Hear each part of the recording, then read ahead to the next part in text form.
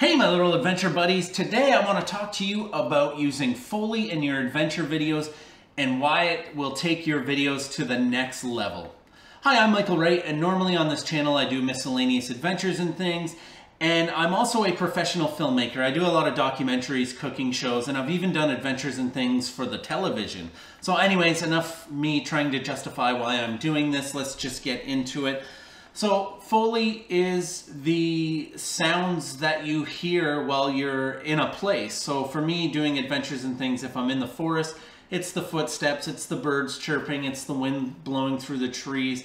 That's Foley. That is your sound effects, essentially. So we've all seen people's adventure videos that are absolutely incredible. Like the cinematography is top notch. It's absolutely amazing. And then it's just music underneath. It's just a soundtrack playing and it kind of fits the mood or whatever and you're just like yeah that's pretty good that's that's that's good the cinematography is bang on the music's cool but I just don't feel like I'm in it. I just yeah, it's it's good, but it's not amazing. And the reason for that is is because people always seem to forget to put in Foley.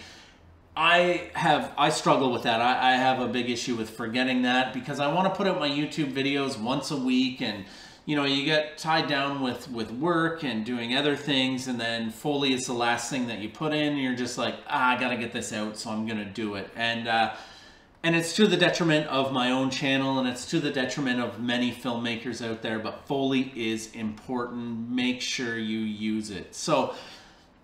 The, the reason why Foley is important is because here's the difference between Foley and just music. So music, conveys the emotion that you want for your video. And Foley works really well with your cinematography in bringing you into that place. So you can feel the emotion of that place in the cinematography and it's beautiful and everything, but to really bring people into that place, you need the Foley, you need that there. When you're walking through the forest and you don't hear the footsteps, then it doesn't really take you into that place, right? Like it, it seems weird. I'll show you here.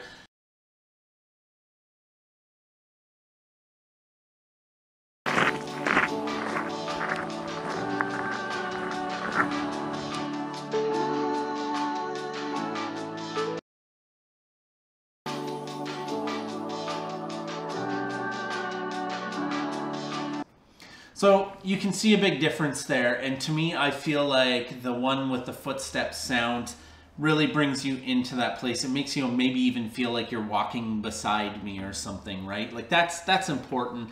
The other important thing is, is to make sure that your footsteps line up. Now, what I mean by that is you don't want to have this.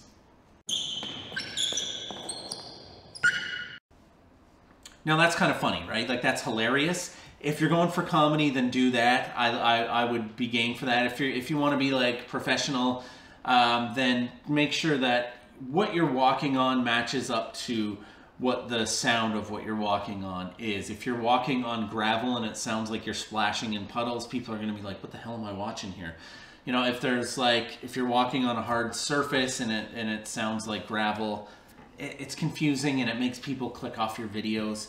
Um, another thing is to with your footsteps make sure like if you're like don't they're not just like always like this but if you're walking away it sounds like you're walking away.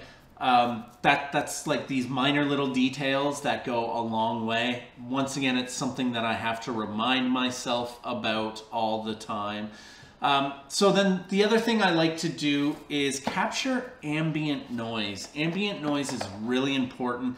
I like to take my um, H5 uh, Zoom recorder and go and catch about a minute of ambient noise in the woods. Now, this is a tip for any filmmaking at all. You want to get like room tone, ambient noise, anything like that. So 20 seconds to a minute.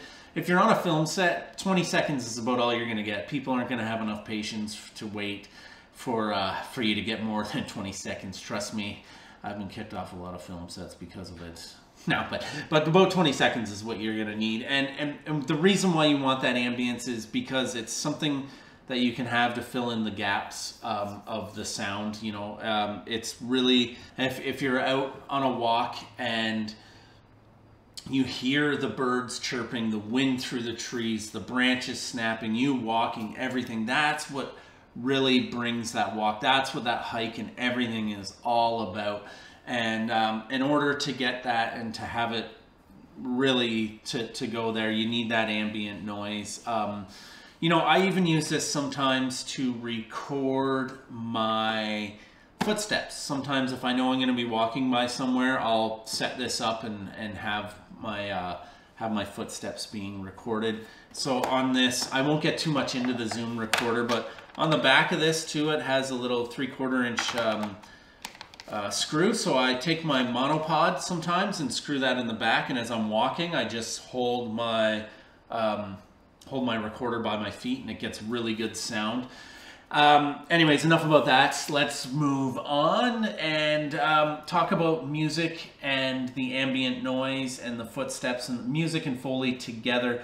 Now, you don't want to have your music drowning out your Foley and you don't want your Foley drowning out your music. I would have, I usually have my music just a little bit louder than my Foley. The Foley you should just be able to hear enough to bring you into that uh, space. It shouldn't be over drowning everything.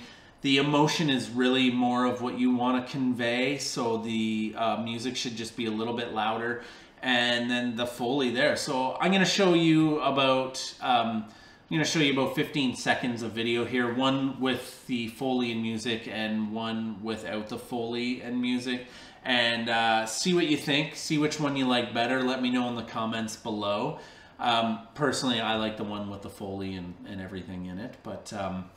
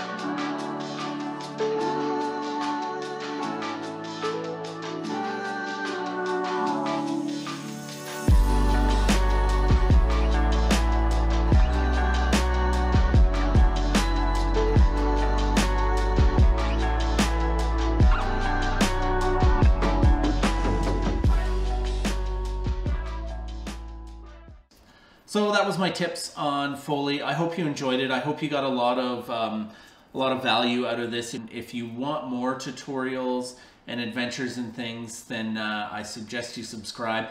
Um, I'm going to take more time and make my videos better on this channel. I, I need the accountability to just make better videos. So with doing the filmmaking aspect of this and as well the adventures, it's just going to hold me accountable. And I really hope that you guys hold me accountable as well to do this. So uh, I just I feel like I haven't grown that much as a filmmaker more than I, I feel like I should grow more as a filmmaker for the amount of time I put in, but I feel like I've rushed too much to get uh, YouTube videos out once a week. So what I'm going to do is do like tutorials to remind me of the things that I have to do and hopefully to help you become a better filmmaker.